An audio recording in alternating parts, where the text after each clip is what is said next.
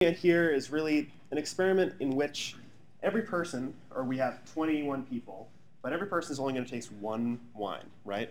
But we want to organize these observations in such a way that we minimize experimental error.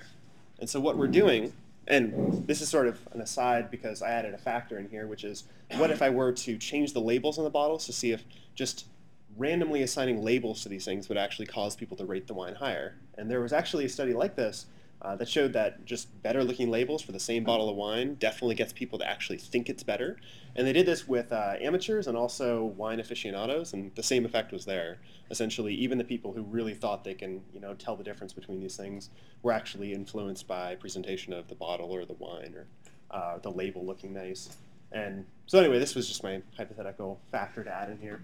Um, of course, in my own wine experiments, we wouldn't have manipulations because I don't mess with friends that much. But um, if I were to, this is what it would look like. So again, every person out of the 21 are just tasting one wine, right? So we're not repeating within subject at all.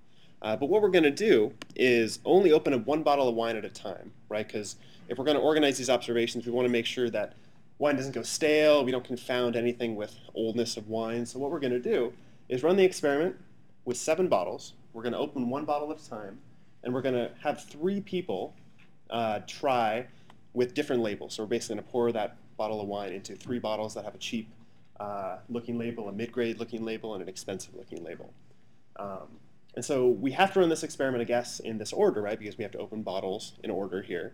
Uh, the benefit, though, of not randomizing across all the wines at once, of course, is we would have to run the experiment, you know, within some time period before the wine gets stale or whatever.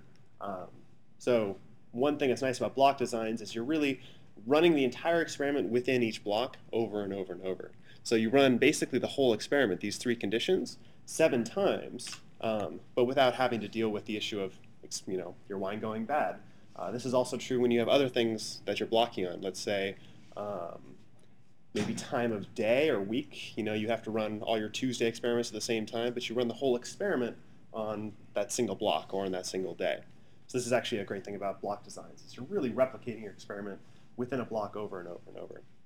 Okay, so what uh, in this experiment would happen is the person would just taste the wine, give it a rating out of 100, and the question is, of course, uh, does the label make some effect, right?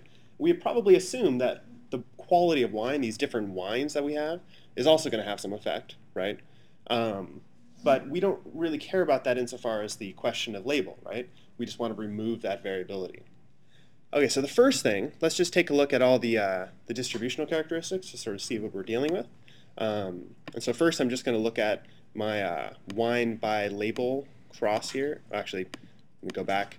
Um, I want to make sure that I have the same numbers of observations. Of course, with randomized complete blocks, we have to have uh, all of our treatments have equal numbers across blocks, so we can't have missing cells here. So we can't be missing, you know, the cheap labeled second wine we actually have to have everything completed.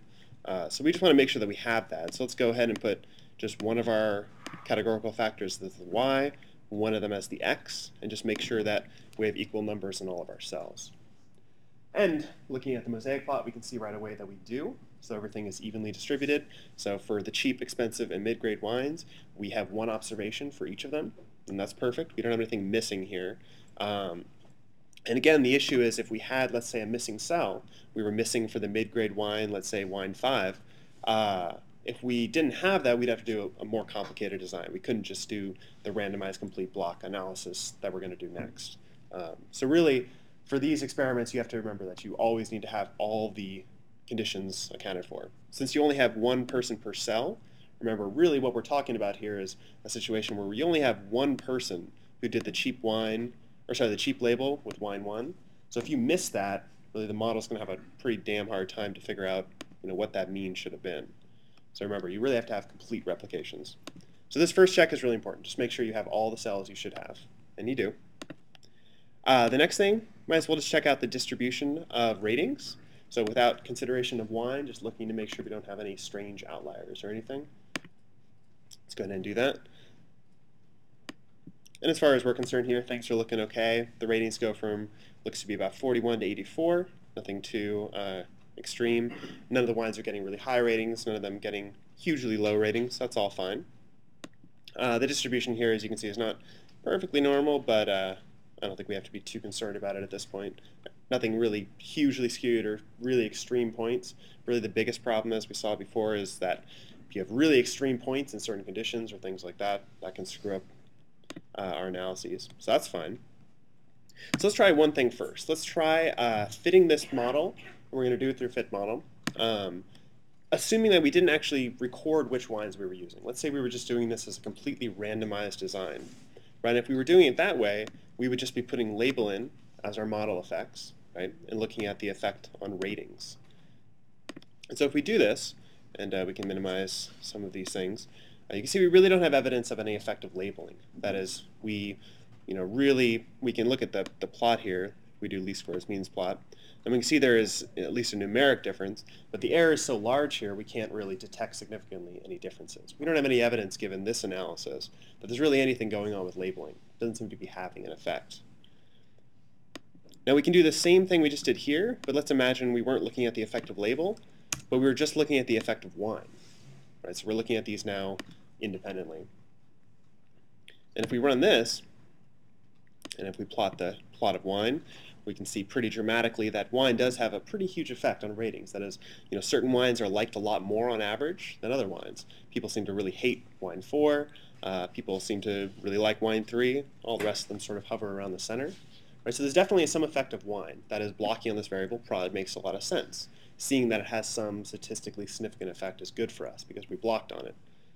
Okay, so now let's consider them together. Now the nice thing for us is that doing this, and I'm going to keep this uh, label-only analysis open for a second and you'll see why. Uh, blocking on wine is as simple as just putting it in as an effect. So we have just wine and label as our effects here. But we're not going to fit the interaction because if you notice, and uh, I'll just do this so you can see, if we were to fit the interaction, the full factorial, we just don't have the degrees of freedom to actually fit a model.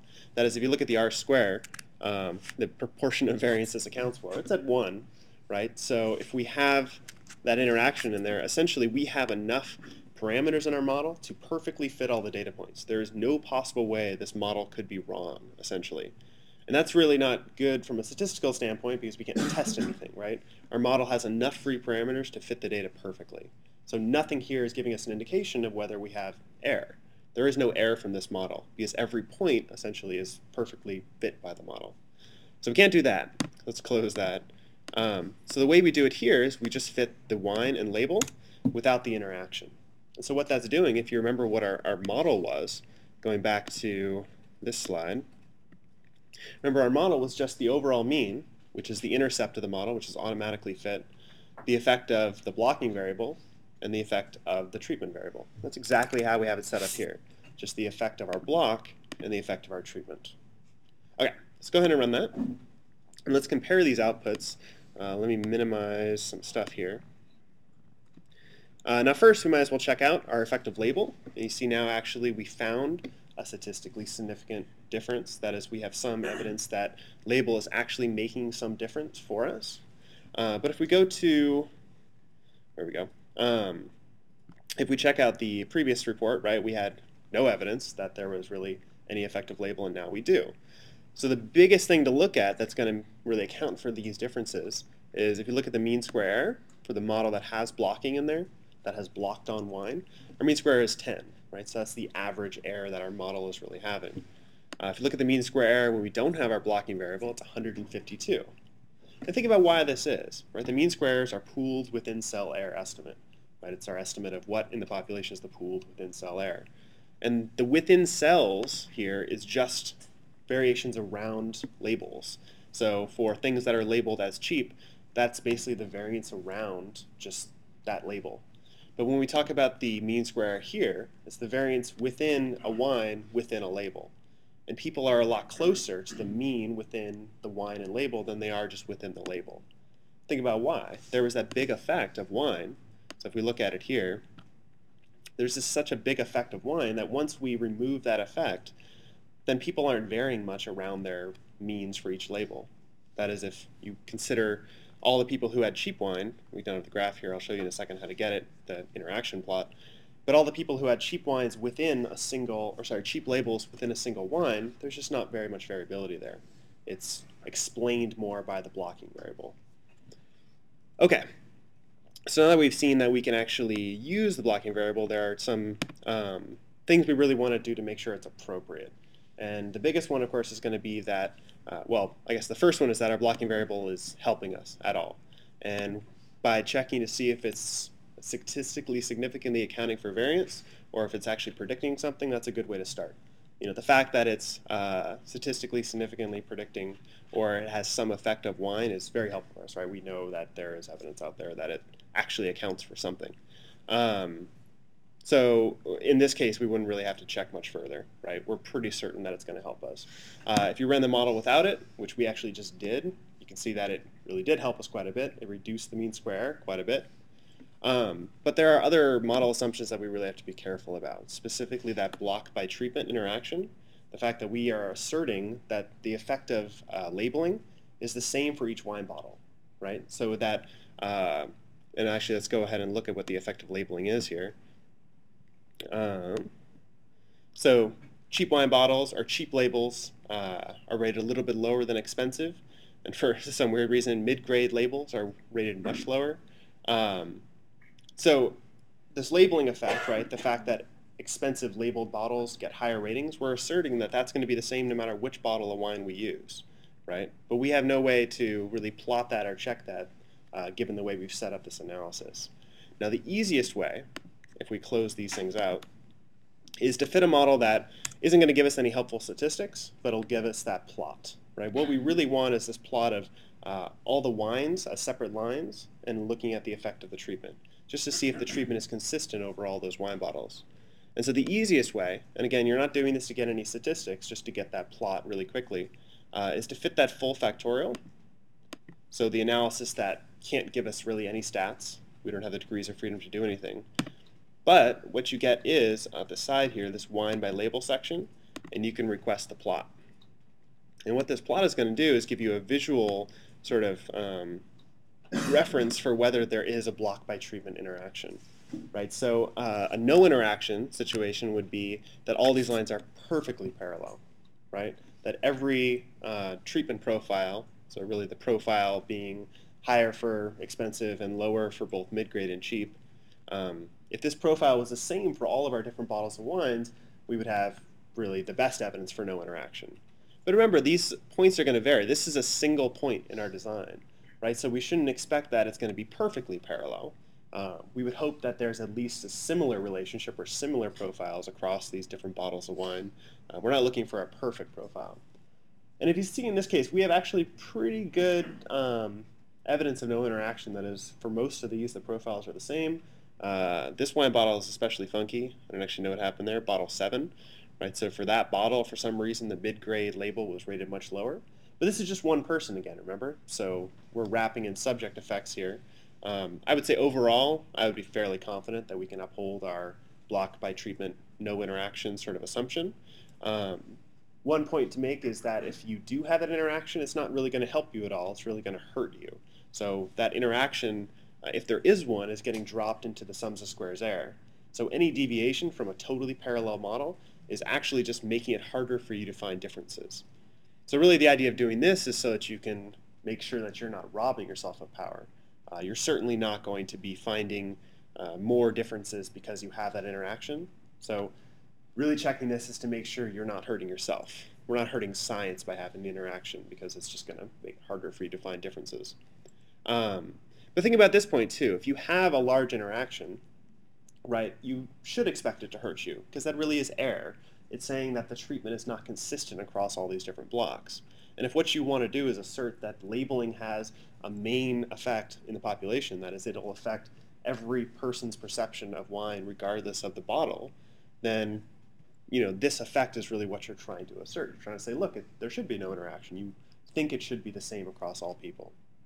Now, if you really needed to show that there is no interaction, or let's say you wanted to show there is, you'd have to collect more data, right? We can't run any analysis here because once we fit the parameters for the interaction, we have no remaining error to say if we're fitting better than chance.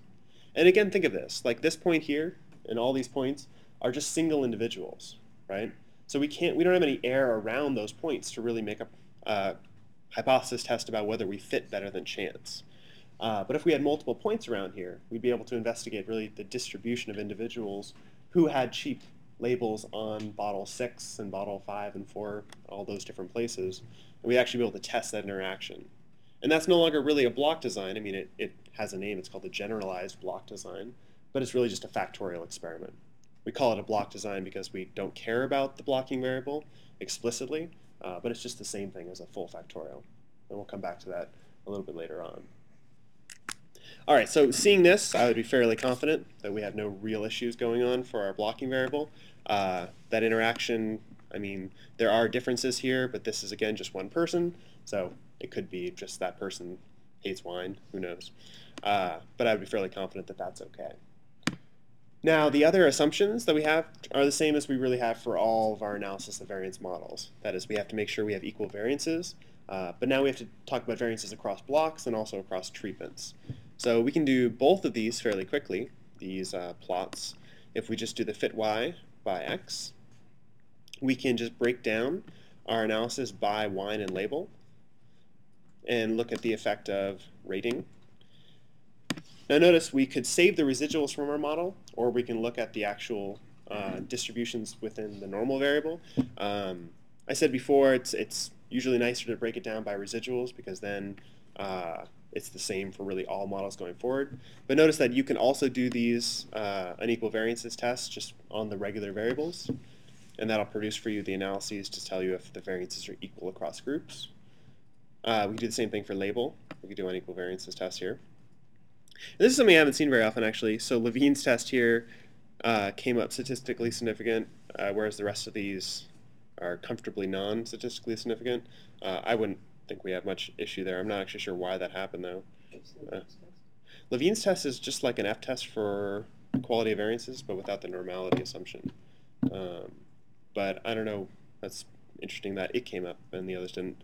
I'll have to look into that. Anyway, um, so that's one way to get a quick just guess at the variances for these groups. Uh, let's do it the, the actually correct way. So let's go back into our model um, and actually save the residuals. So once you fit it without the interaction, we can go in and just save columns and save our residuals. Let's close all these. And we can do the same thing, fit y by x, put wine and label in here as our factor, and look at the residuals. Now, I could break this down by uh, the combination of wine and uh, labeling. Like we done before, we looked at the really the distribution within treatment cells, not within uh, factors. But notice that if I were to you know, do that concatenate function and actually come up with combinations of treatments, I would have one person in each of those combinations, which would make it very hard to do any distributional analysis or homogeneity of variance tests. Um, so I just want to point out that we get all the same results here. Or not. That's super bizarre. um, those are not the same, and they really, really ought to be. Well. Wikipedia says that Levene uses uh-huh. a mean, whereas all the rest of those use a median. These are more robust. Yeah, O'Brien's is a median, so is Brown Forsythe. I'm more concerned now that the numbers are different. uh, that's interesting. Well, I'll get back to you on that one. Um, oh, oh, these are probably residualized around. Yeah, with the blocking taken out. Oh, yeah, this is like covariance models too. Yeah, without the interaction, we have to do it this way. Sorry, back up. Do not look at the distributions within or the fit y x of just the raw variable. So just like covariance models, we're residualizing, we're taking out the effect of that block without the individual cell. Um, so we're just taking the main effect of the block out right? Sorry, that was probably very confusing. So like I said before, the best way, as always, is using your residuals. That's really the assumption of the model. It's about the residuals. So although in regular analysis of variances, you can just use the raw rating, that is, you can use the raw variable broken up into groups for covariance models and also for models like block designs, just make sure you always save the residuals here. So under save columns, do the residuals. And again, it's just a good habit, like I said before, to get into for all of these, just because uh, really the model's making the predictions about the residuals or assumptions about the residuals and not the actual raw variables. Um, so here's actually something I could do to make that point maybe more clear. Um, and also demo another way you can do these analyses, which is using fit y by x. there actually is a specific section for blocking variables, and you can see how it uh, residualizes around the block. So if we take wine here, which is our block, right, and put it in the section appropriately named, uh, take label and put it as our factor. And again, we're trying to get at ratings here. Uh, the analysis here, you can say rating, which is block-centered now. So this is our block-centered ratings.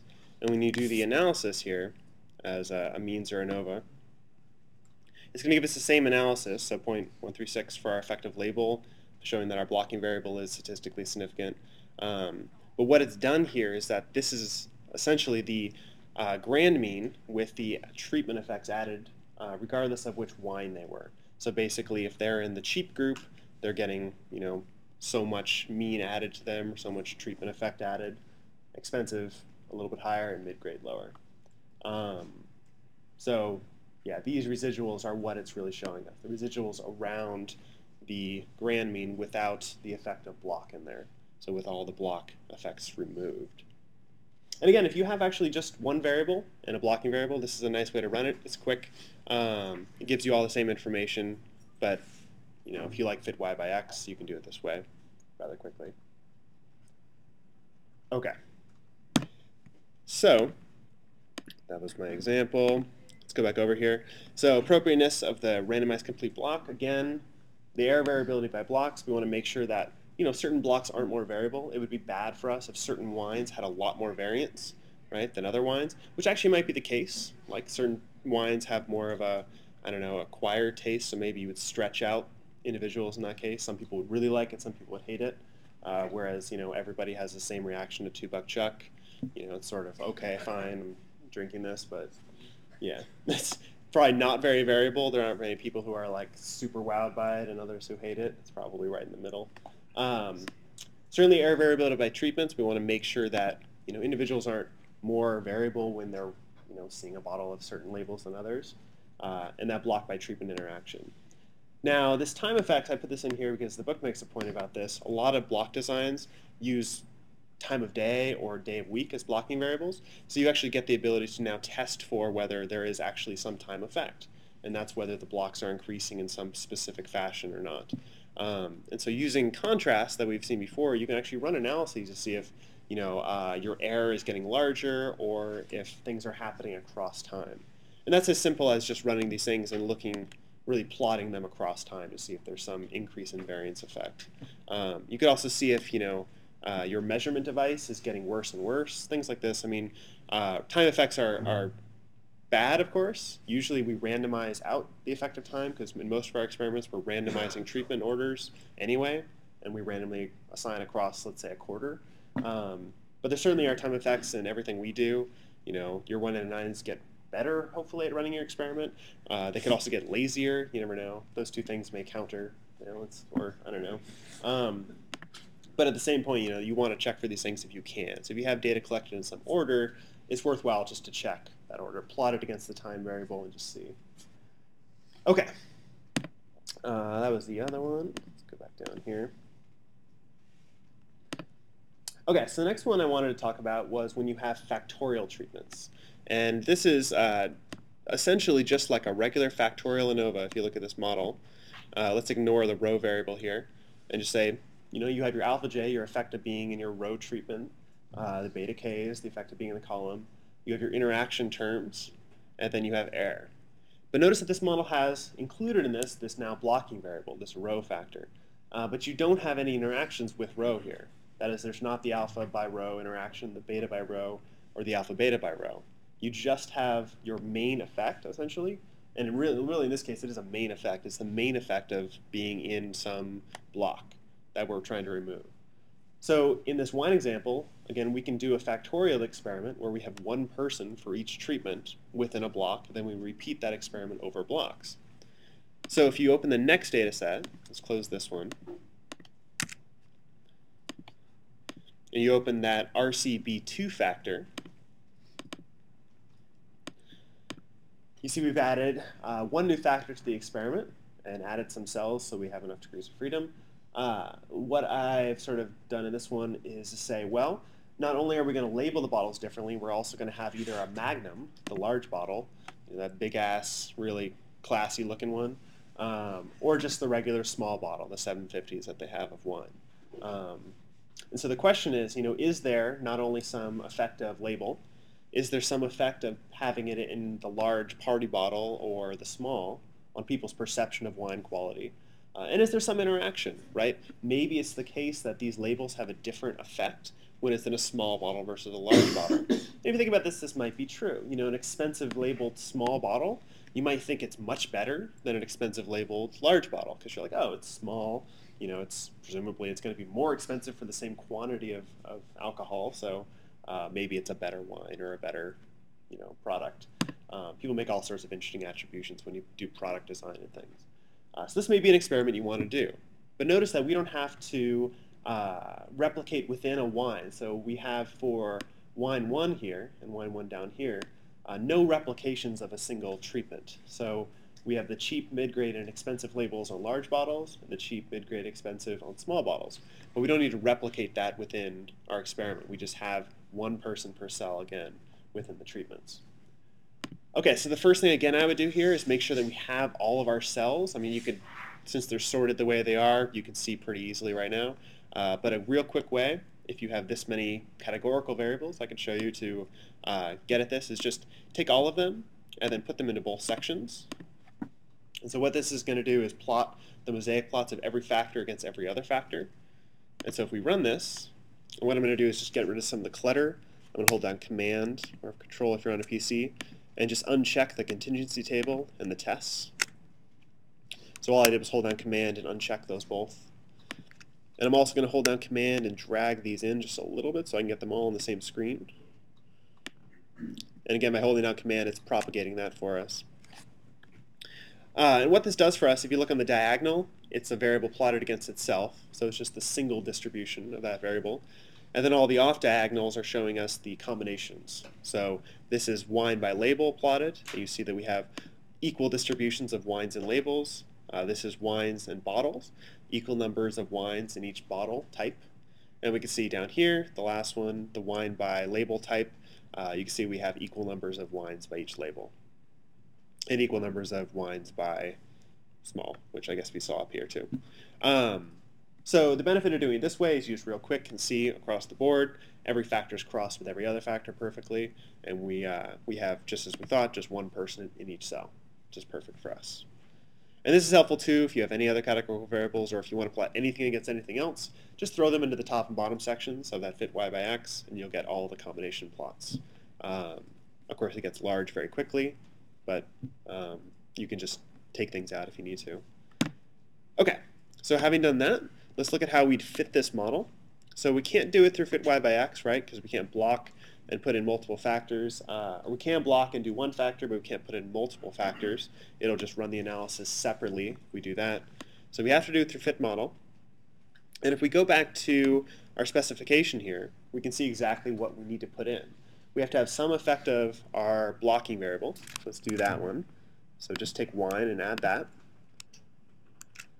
And then notice the rest of this is just the standard full factorial. It's the factorial combination of the row effect, column effect, and then the interaction.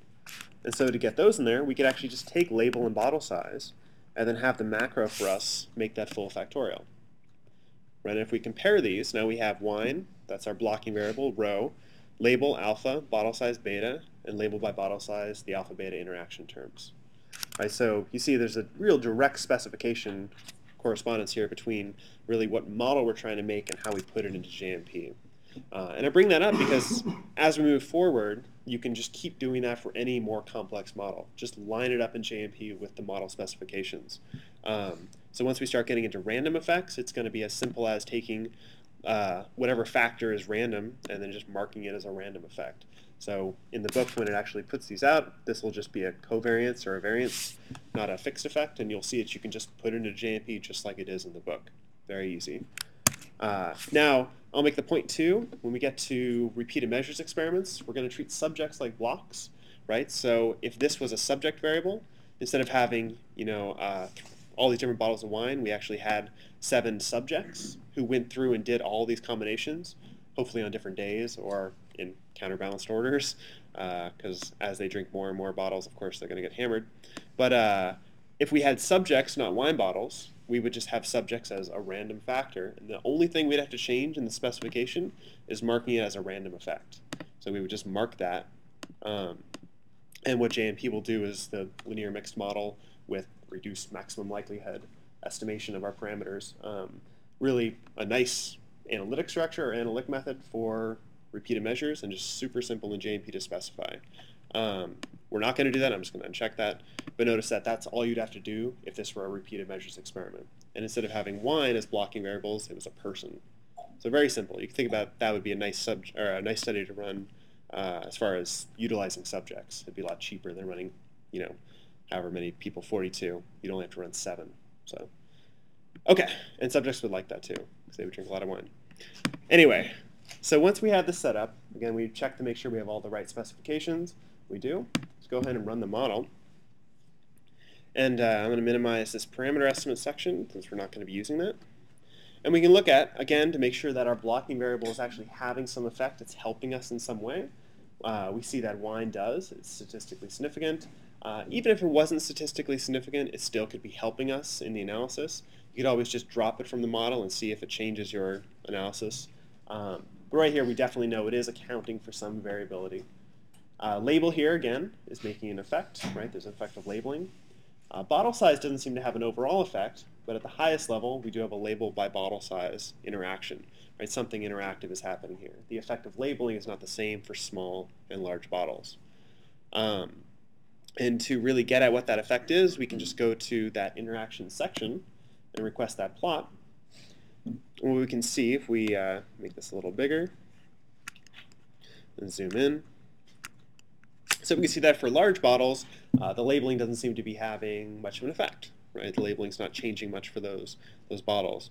But for small bottles, the little one, labeling actually does have a pretty big effect, where the expensive bottle is definitely getting the highest ratings, mid-grade right in the middle, and cheapest the lowest.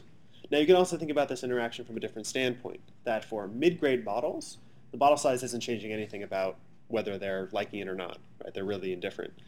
But when it's an expensive bottle, right, going to a small bottle is going to increase their rating of it. Um, and if you have a cheap bottle, small bottles actually get lower ratings. So people like the, the big handles of cheap labeled bottles. Um, now, this is just numerically. We'd want to check these. The nice thing about uh, JMP with these types of models, there's nothing different. We can just request the Tukeys here, and we could actually see if these comparisons are all uh, panning out. And that's a lot of crap, so let's minimize the, I'm just going to take off the um, cross tabs here. So uh, within the smalls, so we can see that um, that ex well, let's actually look to see what important comparisons. I think it would be interesting if moving from a large bottle to a small bottle for expensive would actually increase their ratings. So that would be within expensive. Let's see if there's a difference between small and large. Oh, that's too bad, and there's not. Um, so it's numerically different, but it's not enough to be uh, I guess, statistically significant. Uh, cheap, let's see if cheap, large, and small are different. Um, nope, they're not different either. So really this interaction is probably going to be driven by the fact that probably small, cheap, and expensive small. Yeah, small, cheap, and expensive small are different here, but probably not here. So under smalls, so small, cheap, and expensive yeah, so those are differing. Yeah. But what about large, small? large, small? No, large, expensive, and large, cheap. I'm getting these labels all screwed up. Uh, so large, cheap, and what was I saying? expensive, expensive, large. Uh, and they're not differing, yeah. So a lot of the interaction is probably driven by that. Um, so the way you'd probably want to say this is that really for larger bottles, they're not differentiated much by labels but for small bottles, the differentiation becomes more important. Um, right, and this is actually, um, uh, you know, a decent effect to find by just running one subject in each of these cells. Not too, not too many people, not too uh, large power, honestly. Um, but I made these effects pretty, pretty striking, actually. Um, anyway, so given that everything else is the same here, there's not too much more I have to talk about in here. Uh, but one thing we'd want to do, of course, is check that block by treatment interaction effect. We want to make sure that block by really our factorial treatment is not any different. And so this gets into this issue of we have to concatenate some things to actually get this plot. Um, so if we close this, and again, what we're trying to get here is a plot like we had before, which was um, all the wines as separate lines, and then all of our treatments along the x-axis so that we can just see if they're parallel. We want to see if the effect is really consistent across all of our blocks. And uh, the point I want to make, though, is if you were to fit the model, like I said before, with all the factors, this is what we did before, as we ran that full factorial, and then we went all the way over and actually requested, wow, it's a lot of, a lot of crap there, um, the wine by label by bottle size. So that plot, which you remember with two factors, it was nice and it gave us those separate lines. Now it's just uninterpretable and useless. So I don't know if any of you can get the block by treatment interaction effect here, but um, and who knows what you know order they've even plotted these. What, Kevin? You can see it? Yeah, it's totally there. Anyway, so obviously, um, so we're not going to do that. That's uh, that's probably the more complicated way than of doing it. What we can do though is stretch our design into a one-way. And this is something that's totally fine with factorial experiments. You could even do that and make your interaction contrast and everything on your on your own if you wanted to. But we're going to do the first step in stretching a factorial to one-way design, which is just concatenating our variables. Uh, so if you remember, we need to make a new variable. I'm going to call it treatment. And give it a formula. And what we're going to do, and we already have character columns here, so our labels and bottle size are characters, so we can use the character function of concatenating. So we just go under character, concat. Uh, and again, we just have to give it the two columns that correspond to these treatments. So we're going to do labels and bottle size. And uh, just to make the point here, if you double click on um, this outer line, so I don't know if you can see the outer line, there's the outer line and then the inner ones double click on the outer line, you can see what it uses in uh, the scripting language to do this. It's just colon, the first column, double pipe, colon, the next column. Uh, and if you want to, you can you can get fancy here. So we can double pipe it, put a thing, a thing, a quote, uh, put a space, and then put another double pipe. And what this will do for us is our concatenated variable won't have you know total squishing. It'll actually put a space in there for us, so you can get fancy. Um, you can make this and, you know, you can do whatever you want. Uh, none of that's necessary, just a point to make. Uh, so in case you ever have to do something like that. Okay, so now we have our treatments, right? So these are all the combinations of our bottle size and label. Uh, and what we're going to do is go back into fit model, and we're going to fit that over specified model, the one that has uh, enough parameters to perfectly fit the data. So we're going to take treatment now and wine and fit a full factorial. So again, what we're trying to do is get that block by treatment plot. Um, so we're just going to fit the full factorial of that. And we're trying to predict rating. So if we run this, again, the model is going to fit perfectly because we have enough parameters to do that. But down here under wine by treatment, we can get the plot looking at whether we have really consistency across these blocks. So if we zoom in here a little bit, you can see for each wine, uh, we get a plot of you know, cheap and large, cheap and small, expensive and large, expensive and small, mid-grade and large and small. Um, and this is just getting kind of awkward and messy, but uh, nothing looks horribly wrong. I mean, the patterns are certainly, the profiles are different. Um, most of them are going down within the first step here, and then they sort of all go back up and back down. Um, I mean, again, in this case, this is sort of one of these things that's judgment call because, um, you know, these are all single points. So we're really plotting these things and hoping that we don't have bizarre subjects giving us strange ratings. Uh, but I would be fairly comfortable with this. If you sort of look at the overall trend, it's not crazy like, right? It's sort of blocks are certainly separated, so the wines are certainly making a difference. But everything sort of goes up and back down in a way, except for these uh, bottles here, a little bit strange going down but I wouldn't be concerned by this. Um, and again, if we really wanted to see if uh, you know we're overly influencing our error term, you know, above and beyond the effect of wine, we could take wine out of the analysis and actually see. So if we go back here and just imagine we're just treating this as a randomized design, we're going to fit label and bottle size. We can see if that actually, you know, shows a better effect. And actually, if we do that, Without wine as our blocking variable, see we just lose um, our effects altogether. Basically, without that wine soaking up all the error variability for the block effects, um, we really aren't able to show statistically that there's any effective labels or bottle size, and certainly not an interaction. So in this case, uh, our assumptions of that interaction being too big between the blocks and wine, I don't think we have to worry about it. Um, certainly, we can show that we have uh, helped our analysis by adding in this blocking variable.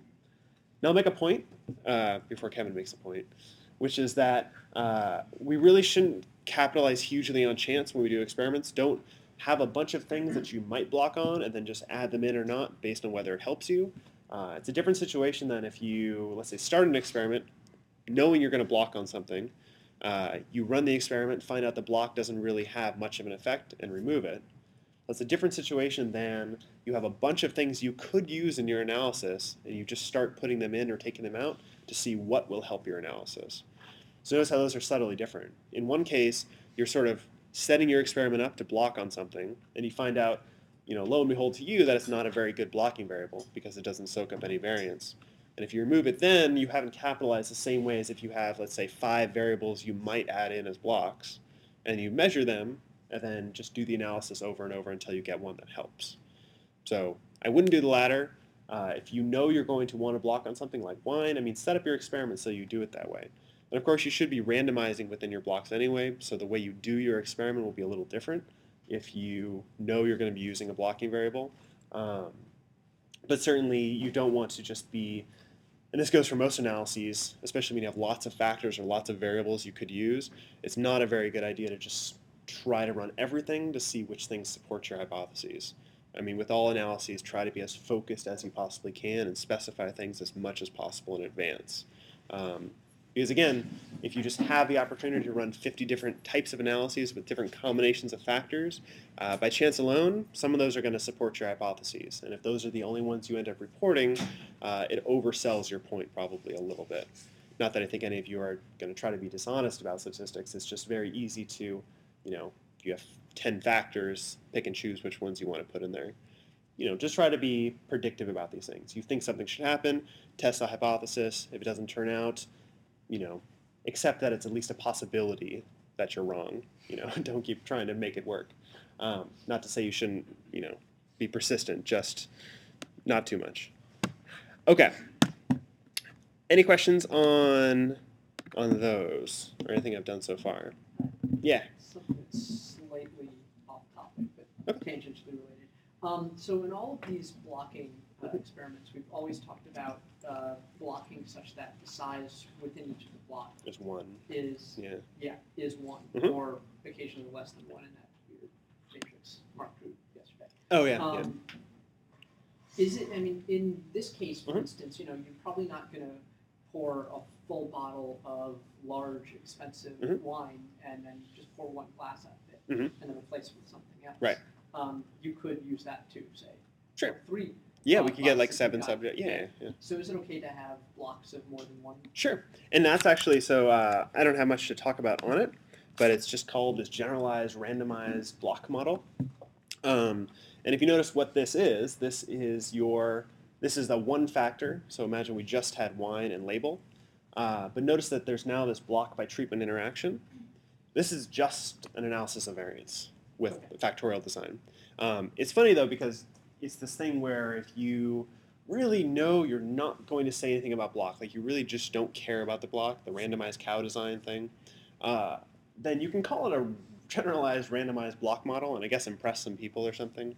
But it's just a factorial experiment, right? You're not doing anything special. There's nothing different about the model specification, how you run it, how you analyze it, uh, how you interpret it. It's all the same. Uh, it just gets this extra name because I guess it comes from this idea of well, if you have replicates within a within a treatment, essentially, um, you're able to now estimate that interaction term. Now, it's not always the case that you need to fit that interaction. You do lose degrees of freedom by fitting an interaction, fitting all those uh, parameters if you don't need it at all. So if you know you have great justification for how there could be no possible interaction between blocks. Uh, let's say your blocks are just machines that have different efficiency, and you have like you know you know, or how about this? We're testing whether people are better at copying large stacks of paper or small stacks, and we have them upstairs in our copiers, and we know one of them is just slower, like the one on the right sucks, you know, and the one on the left is good. Um, we don't think there's going to be any interaction between those two because it's just we know there's just a mean difference in their speed. And that's all we want to you know take care of is the mean difference. So we don't have to fit that interaction because we can almost say based on a physical explanation of how there couldn't be an interaction, right? And for social psychological things or psychological things, it's harder to justify on a physical basis. But a lot of times, you know, you'll have really consistent effects, and you can have all these replications and not fit that interaction, um, and not use up those degrees of freedom. But anyway, to answer your question, yeah, if you have replicates, which you should, I mean, there's no reason not to for most of our experiments. Uh, running one person into each treatment, um, I mean, it's just it's the savings aren't huge, and you don't get the ability to estimate that interaction. So honestly, it makes a lot more sense to spend the extra time. Uh, I mean, the reason for all these things is to increase precision in the face of really expensive subject running costs. So if we can only run 40 subjects, we want to organize them in such a way where we get the most use out of them, right? Or we get the least variability around whatever true effect there is. So we'll see with um, things like analysis of covariance models, we're going to do the same thing, but with quantitative predictors. So instead of using a qualitative grouping variable, you know, uh, type of wine. We can use something quantitative and you know increase the precision of our estimates by getting rid of error variability. But, but again, like if you can run tons of subjects, most of these procedures just are not necessary because if you can run a ton of subjects, you're going to get really precise estimates without having to make assumptions like there are no interactions because you're going to have enough people to test them. Uh, and if they are there, great. If not, great too. You know. So anyway, Yes, generalized randomized block model is the name of the one where you have replications. Uh, now make the point too, we're not going to do anything with them tonight, but uh, these reduced Latin square designs, so instead of having a complete randomized block model, you just have some observations from different combinations of cells. Uh, you set them up in JMP identically. Uh, you just fit them without those interactions, and it'll fit the model just fine. Um, and as long as you've organized your observations or organized your treatments, in such a way that you're not confounding with interactions. Like you, in these Latin square designs, you can't estimate certain interactions, but they're not confounded with them. So you have observations from, let's say, cheap and small, but you wouldn't have mid-grade and small. You'd have mid-grade and large or something. Um, and so the, the benefit of the Latin square designs is you get to run a subset of all the possible conditions without confounding higher order interactions. But uh, you're also in this case of, well, you can't estimate them either. So if they are there, um, they're just going to fall into your error term. But you don't want them to fall into a treatment term. It's really the important thing about Latin square designs. If the interactions are there, it's just going to hurt you. It's not going to magnify some effect, um, which is you know the idea of a confound. It's not going to soak into the treatment effects. And uh, we'll talk about this probably not next time. We'll do non-orthogonal, but maybe the time after this design of experiment section. And uh, I mean, I even I even recommend going to the help and looking at the book for this, the Design of Experiment Guide, because uh, this is a super super handy tool, uh, which lets you essentially add in what factors you have in your experiment. Let's say we have a three left three level factor there, three level factor here, and we have our y response, which we're trying to like maximize to I don't know lower limit 80 and upper limit 100. Um, your goal is to maximize that, and you know this factor, x2, is very hard to manipulate. Maybe it's something that you just, if you set it, like, I don't know, what's it, eye tracking things, right? You probably have things where it just takes a while to set up something, and so you wouldn't want to change that factor. I don't know, maybe heat for a room, if you're trying to look at the effect of that. You wouldn't want to have one subject run in a hot room and then have to cool it down to make it cold for the next subject you want to organize your running so that it, it's simplest for you. Uh, things like soil consistency or soil density, uh, if you're doing this agriculture. Anyway, so you can tell JMP uh, sort of what you're trying to do, what you're trying to estimate. You can say you want to be able to estimate second order interactions. Um, and let's say you also want to estimate possibly uh, quadratic effects. Let's do second order power. No, it's not letting me do it. Well, we'll just do that for now. Anyway, um, and let's say you want to group them into plots of four, I don't know, something weird. And what it can do for you is actually come up with the optimal way of running the experiment in terms of order and also in terms of not confounding conditions. Uh, and you can have it, you know, um, you can look at prediction variance profiles and have it come up with um, like what effects you're going to be estimating optimally, and it can do lots of really um, really interesting things with this. And then it'll make you your data table, which you can just then run in that order and then uh, put in the data. And it even sets up your model for you on the side. So if you have it, it'll actually know you're doing a randomized block with the interaction. It'll do the estimation for you and run it. So uh, the design of experiments is super cool, that setting. Um, Why have you restarted Glad? um, I mean, it, yeah, you, you, yeah, maybe. Um, it's, it's worth checking out, and it's. I mean, something I'll admit, I, I have only played with this a little bit. Um, I had some really really annoying Latin square designs I had to randomize for, and so I used it. But most of the time, you just don't. Most of the time, we're doing full factorial experiments where we just randomize the order, so these things aren't really important. And we're not usually doing designs where we have to maximize uh, certain things. We're not trying to. I don't know the example they have, which is really funny um, in their books here the example they take you through is let's say you want to run an experiment looking at how well you can pop popcorn. And its example takes you through setting up the situation. What you're trying to do is manipulate how long you cook it, what power you cook it at, and which brand you use. And you're trying to maximize the kernels popped. And it'll actually make this design for you. And you could say, look, your factor space, you don't want any designs where you have uh, three minutes at less than seven power or five minutes any more than eight power because you know it'll just burn them.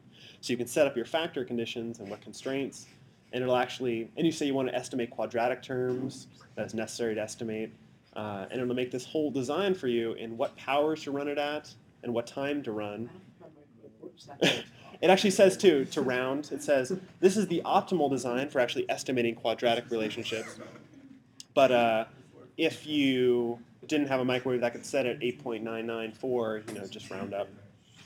Um, but yeah, its point is, you know, once you do this and you fill it in, uh, you know, it has all the scripts to actually estimate it, and it'll show you the uh, prediction traces and all these things too. So it's actually really advanced with these design of experiment things. Um, so I would recommend just going through the design of experiment guide and doing the introductory one. Uh, so it's again, it's under help, books, this DOE. Um, again, I just haven't played with it too much, so I can't uh, point out things right now, but I'll check it out a little more for you guys because uh, it is pretty neat. Um, so in any case, these Latin square designs are, are fairly simple to run. Um, you run them at the cost of not being able to estimate a lot of interactions and making a lot of assumptions about where there are and are not interactions, uh, but you get the benefit of running much fewer subjects. So uh, again, for us, subject costs are often cheap um, if we're not running you know physio experiments or things with fMRIs or uh, of that sort. But you know if you have to, these Latin square designs are, are nice, but they're easy to you know analyze too. You just put them in, and JMP will estimate everything just fine. Okay, so that's all I had for tonight. Is there any questions about anything I've covered? No, I guess all good. Get to uh, Cozumels. You guys.